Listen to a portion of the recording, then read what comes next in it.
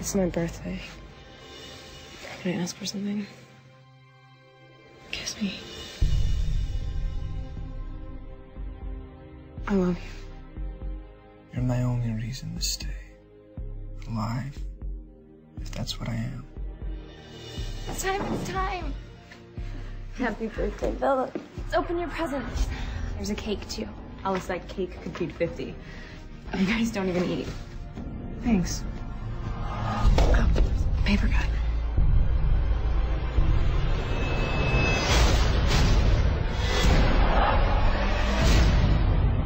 What happened with Jasper was nothing.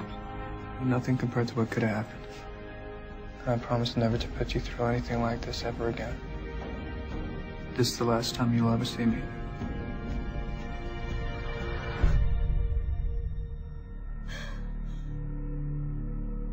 How much could you mean to him if he left you here, unprotected? But I can't help myself. You are so mouth-watering.